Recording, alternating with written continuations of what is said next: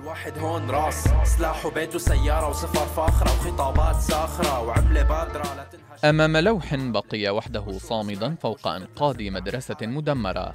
يصدح صوت مغني الراب السوري أمير المعري ضد قوات النظام وحليفتها روسيا وطائراتها التي أنهكت محافظته إدلب. لكن أيضا ضد الفصائل الجهادية والمعارضة. رافعا الصوت ضد القيود على التعليم وإغلاق الجامعات. قبل أسبوعين ظهر أمير في أول فيديو له على وسائل التواصل الاجتماعي واقفا وسط أنقاض مبنى مدمر أو مدرسة استحالت كوم ركام ولم يبق منها سوى جدارية ملونة ترحب بالعيد.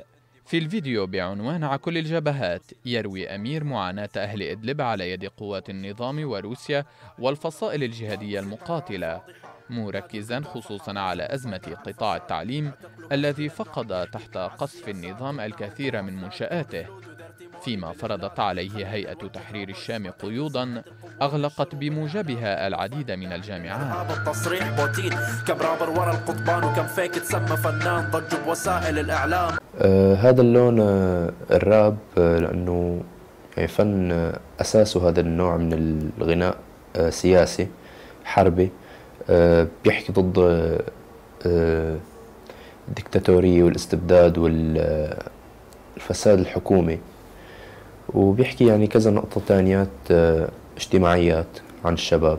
فحدد انتمائك بين القاعدة أو الحكم المجوسي لأنه صواريخهم ما بتصيبك لو كنت بصفهم. روح شوف الشعب بعد نتائج مؤتمر سوتشي تنقل أمير خلال السنوات الماضية بين تركيا التي لجأ لها من أجل الحصول على فرصة عمل ومدينته معرة النعمان التي استقر فيها أخيرا بعدما قتل شقيقه برصاص حرس الحدودية التركي أثناء محاولته العبور.